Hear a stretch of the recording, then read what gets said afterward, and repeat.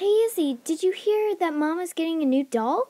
Whoa! Really? Wow, we could make crafts together and we could go shopping and we could make friendship. Slow down, Izzy. We haven't met her yet. Oh. So, do you want to make a card to send to her? Sure.